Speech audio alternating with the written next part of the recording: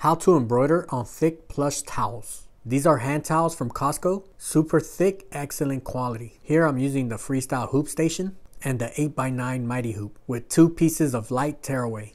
And here I'm gonna mark my center with a piece of tape by just folding the towel in half. And once I'm nice and secure, I put it on the machine and hit that start.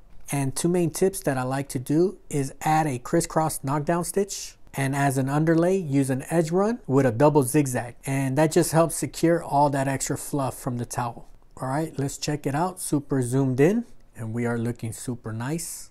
All right let me know what you think and i'll see you on the next one